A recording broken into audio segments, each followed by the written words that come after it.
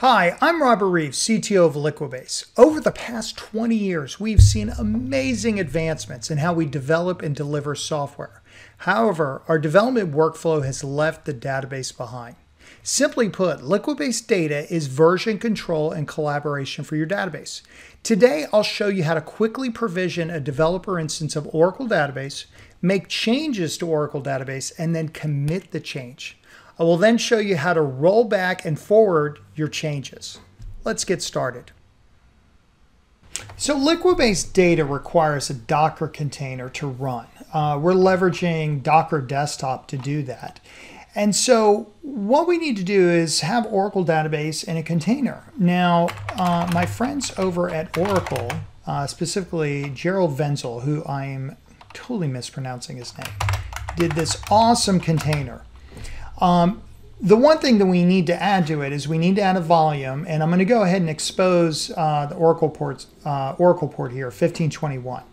And so once I create this container, um, I can then start using it with Liquibase data. And so um, we've already built this previously. That's why it's so peppy here, uh, but it doesn't take long. Um, and so let's go ahead and make sure that that got created. Oh, there it is. Okay, that's handy. Um, and the next thing I'm going to do is I need to wire this up um, with uh, Liquibase data and, or rather this Docker container and Liquibase. Um, if you go ahead and look at my Liquibase properties file, you'll see how I did that. So we're connecting with JDBC. Uh, here's the URL. This is provided by the uh, container itself, um, this database name. And so um, username and password. I'm going to use XML today for my changelog, but we can also use YAML, JSON, formatted SQL. Um, for Liquibase veterans, um, this is the new thing here uh, where I have my Liquibase, uh, or rather my repository name. This is a convenience function for Liquibase data uh, to help me not have to type it over and over again. And then we're just going to turn off Liquibase Hub uh, for this demonstration. Now, the next thing I need to do is, uh, well, let's just go ahead and run it. Uh, we're going to go ahead and register this container with Liquibase data. And so um, let me go ahead and copy this command and I'll go ahead and walk you through it.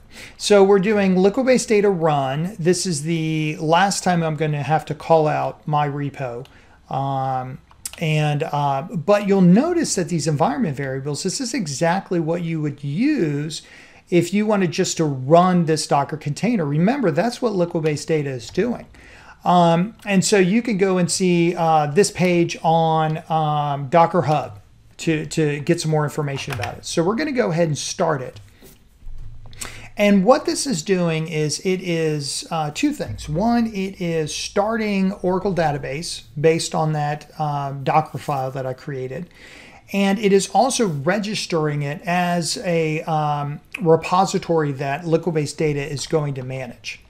Now, if we go ahead and do um, Liquibase data ls, we'll see that, uh, well, we have one repository listed there.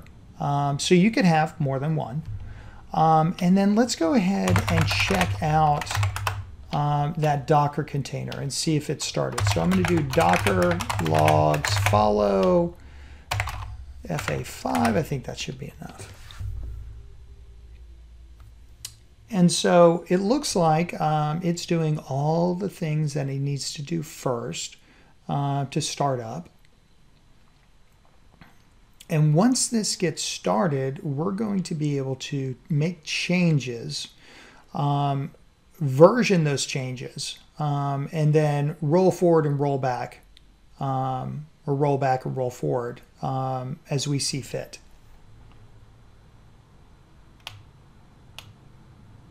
Now, while this is starting up, um, well, now that it's started up, we can then connect to uh, the database. I'm using dbeaver. Um, so we're going to go ahead and edit the connection and you can see uh, what those values are. So it lines up with exactly what we did when we started it.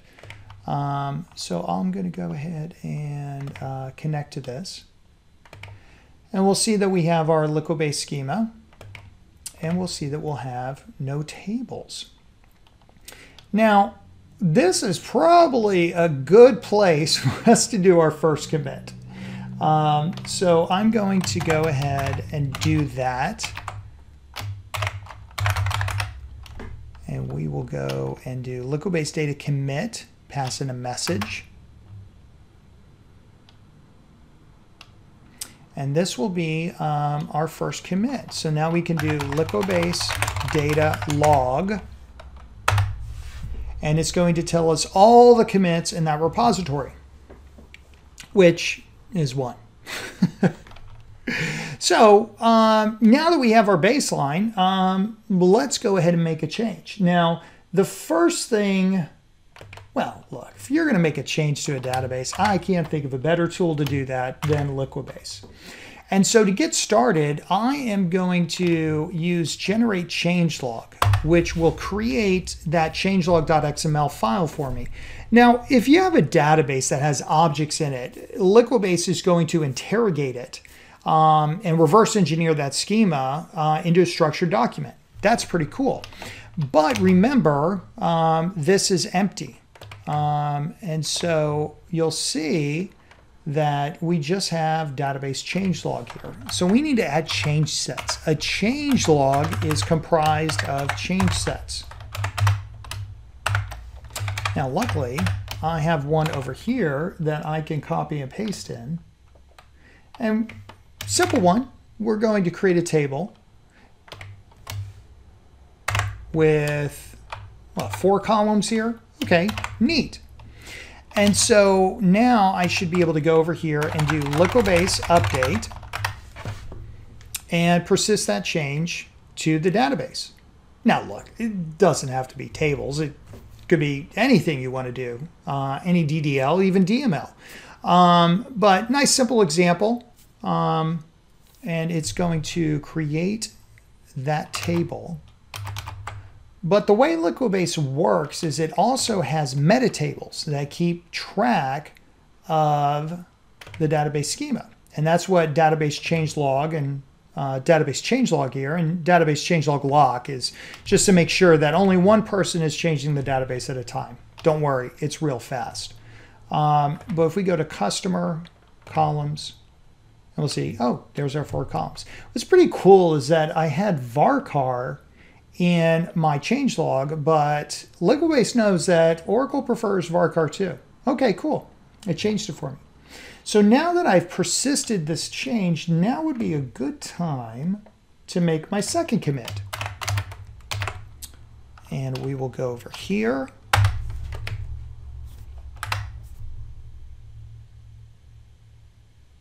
And again, if we do database, uh, a Liquibase data log, we'll see that we've got two commits there. Now, look, sometimes bad things happen to good software, and we might need to roll back to that first change. No problem. That's the whole point of versioning, right?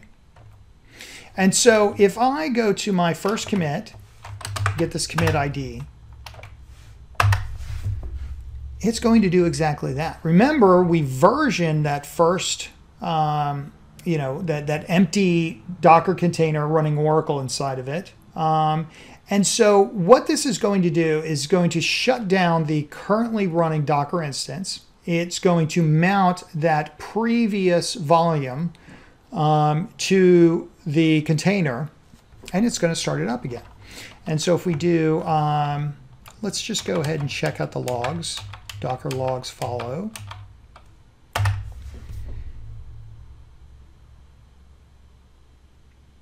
And it looks like it's starting up again. So when this is complete, we're going to be able to go to dbeaver and see that those tables are no longer there, just like it was before. Again, the whole point of versioning things.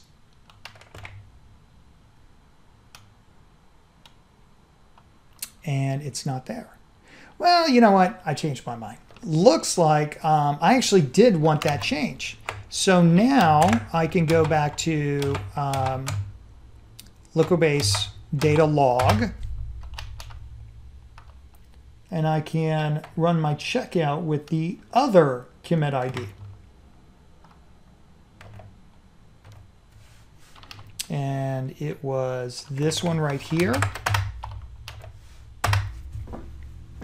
And again, same exercise. Um, lather, rinse, repeat. Um, now, of course, you know, what's the whole point of versioning if you can't collaborate with your other team members? Now, I'm not showing this today, but you certainly have the ability after a Liquibase data commit to do a Liquibase data push.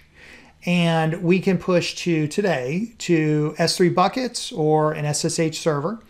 And um, that allows your teammates to do Liquibase data clone, Liquibase data pull. Um, again, aligning with how you develop your code today. Um, so let's go ahead and see how we're doing uh, with that container. See if it started.